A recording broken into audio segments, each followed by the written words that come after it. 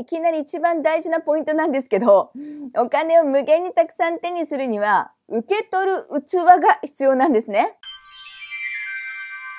さあ、みんなで開運するよ。願いが叶っていく、のりこチャンネル、始まります。前にね、このチャンネルで宇宙銀行についてお話ししたんですけど、見てくれたかな？宇宙銀行は徳を積むような行動をして自分からエネルギーを動かすことでどんどん貯金が溜まっていくよ。そしてお金の引き出し方とかね、お話をしました。この宇宙銀行は無限にお金があるし、無限にお金を引き出すことができるんですね。ただ私たちにね、宇宙ブロックがあるとどんなにお金が欲しいと思っても引き出すことができないんです。じゃあどうしたらその宇宙ブロックを解除できるのか今日は6つのポイントをお伝えしますね。まず1つ目は、目に見えないエネルギーを疑わないなんです。宇宙銀行も宇宙ブロックもすべてエネルギーなんですね。このチャンネルを見てくださってるみんなは、ね、知ってると思うんですけど、お金だってエネルギーですよね。スピリチュアルな話やエネルギー、波動のことを目に見える現象と同じ当たり前のことだと本当に思ってるかなっていうことなんです。このチャンネルはスピリチュアルなことをお伝えしているので、それを見ているということは、みんなね、エネルギーや波動について疑っていないと思います。まあ、そんな世界の話は怪しいとか嘘でしょと思ってる人は、自分から宇宙に対してね、ブロックをかけてしまってるんです。そうしていると、無限にある宇宙からお金を無限に引き出すことだけじゃなくて、アクセスすることすらできないんですよね。なので、まずは基本中の基本として、エネルギーのこと、目に見えない世界があることを全面的に受け入れていることが、宇宙ブロックの解除の第一段階になります。これはみんなきっとね、クリアしてるよね。では、宇宙ブロックを解除する二つ目のポイントに行きましょ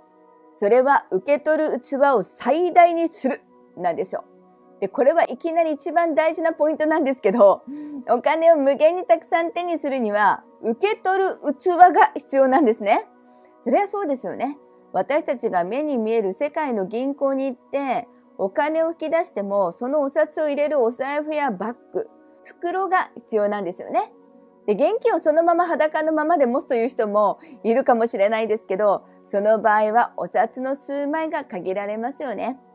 別の例だとね、すごく喉が渇いてるからコップ一杯のお水を飲みたいのに、ちょこっとしか入らないコップしかなかったら、十分にお水が飲めないっていうイメージすると分かりやすいかなと思います。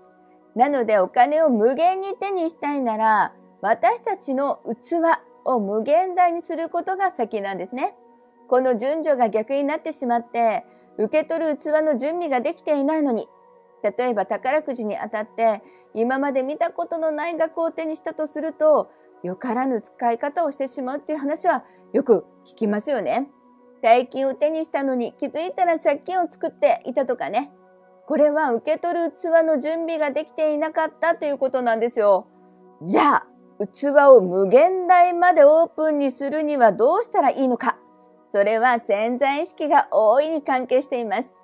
受け取る器は潜在意識が管理しているんですよ。だから潜在意識に器を大きくして OK だよと許可を出してあげる必要があるんです。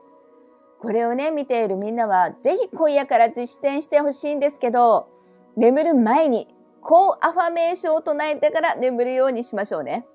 私は無限のお金を受け取って OK。受け取る器を無限大にする準備ができました。これを各10回は唱えてみましょう。書き出すのもおすすめですね。で、実際に書くことで脳にインプットされて、そのまま潜在意識の書き換えに直結しますから、ぜひね、受け取る器を大きくして宇宙ブロックを解除してください。そして宇宙ブロックを解除する3つ目のポイントは、苦労しないとお金が入ってこないと思っていないかな？っていうことなんですよ。宇宙銀行にアクセスするには、実は一つの方法だけじゃないんですね。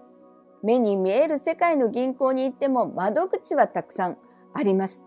それに ATM は街中どこにでもあるしね。ネットバンキングでもお金を移行させることが簡単にできます。同じように宇宙にはお金に対してパイプがたくさんあるので、一つの手段でしかお金を引き出せないっていうことはありません。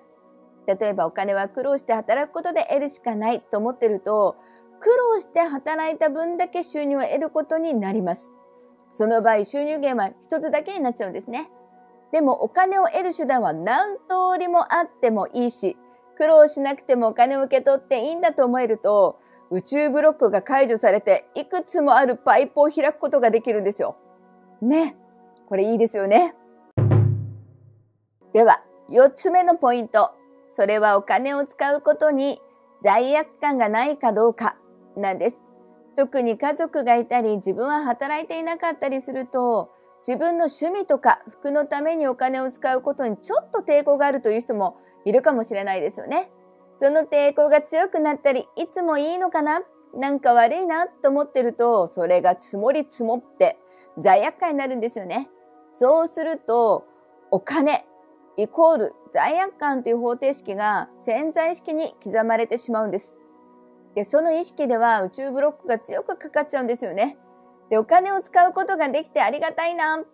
自分の欲しいものが買えて感謝だな。そう思えると宇宙ブロックは解除されますから、お金を使うことに対してどう思ってるか向き合ってみてくださいね。そして宇宙ブロックを解除する5つ目のポイント。それは、できない、無理という口癖を止めることなんです。自分にはできない、私には無理って意外とこういう言葉が口癖になっていたりするんですよ。できない、無理っていう気持ちがあると、エネルギーの流れをストップさせてしまうんですね。だから当然宇宙ブロックも発動しちゃいます。で、謙遜からね、できない、無理と無意識にいてしまう癖がついているかもしれないので、まずはそういうネガティブな口癖がないかチェックしてみてください。結構日本人ってね、この謙遜が結構あるんですよね。自分ではなかなか気づきにくいので、家族とか頻繁に会う友達、同僚に協力してもらうのもいいですよね。できない、無理って言ったら、その都度教えてとお願いして気づかせてもらってくださいね。そして宇宙ブロックを解除する6つ目のポイントは、成功か失敗かで物事を判断しないなんです。で、実はこれ盲点なんですけど、エネルギー的にはすごく大事なことなんですよね。例えば新しいビジネスに挑戦したとしますよね。で、初めての挑戦で思うような結果が出なかった時、失敗したと判断するか、次へのステップとしていい経験になったなと思うか、この分かれ道がエネルギー的に大きく変わってくるんです。失敗したと判断してしまうとそこでストップを自分にかけてしまうんですよね。そうするとエネルギーもストップしてしまうので宇宙ブロックが発動しちゃうんですよ。でも現実世界で何かに挑戦したり、特に初めてのことに挑戦するとき、思うようにうまくいかないことはよくありますよね。そんな時に結果だけで成功した、失敗したと捉える思考の癖があると、宇宙ブロックを解除することが難しいんですよ。で、成功も失敗もない。どんな結果であれ、経験なんだ。次に活かせるんだと思えると、エネルギーがプラスに働いて動き出して宇宙ブロックが解除されます。どうしても自分を責めてしまう癖がある人もいるかもしれないんですけど、責めてしまうと受け取る器も小さくなってしまうし、自分はできないんだっていうね、潜在意識になっちゃうんですよ。なので、物事を成功か失敗かで判断しないように心がけてみてくださいね。今日はお金が山盛りになるために宇宙ブロックを解除するポイントを6つお伝えしました。みんなもね、こういうことしちゃってるとかね、これを聞いてこういう風にしていこうっていうことがあったら、ぜひコメント欄で教えてね。楽しみにしてます。あ、他のコメントでもいいですからね。それではみんなで最高のハッピーを手に入れようね。おまけ。いつもありがとね。いつもね、みんなのコメントをすっごい読むの楽しみにしてます。さて、先日なんですけどね、夜にうちの子供がね、部活のユニフォームを洗濯してっていうので、うちの旦那さんが、じゃあ俺がするって言ったんですよ。そしたらですね、洗濯する前にソファーで寝ちゃったから、起こして、どうすんの？自分で洗濯するの？それとも私がやるの？って聞いたら、なんて言ったかっていうと、くまモンって言うんですよ。はあ？くまモンって思ったんですけど、何回聞いても、くまモンって答えるんですよ。仕方ないので私が選択しました。で、次の日ね、なんでくまモンって答えたの？って聞いても記憶がないらしくて、自分で言ったくせに大爆笑してました。ちなみにくまモンってなんで言ったんだろう？っていうことになって、12月に熊本に行ったからかなとかね。それよりも去年かね、一昨年に大阪でばったりくまモンに会ったから、それが潜在意識に入っていたのかなっていう会話をしてたんですね。で、寝ぼけてくまモンっていうのはやめてほしいんですけど、うちの旦那さんは寝言が結構面白くてですね、うちの子供もよく寝ぼけます。うちの男子たちは結構寝ぼけますね。というくだらないおまけでごめんなさい。こんな会話や生活をしています。じゃあね。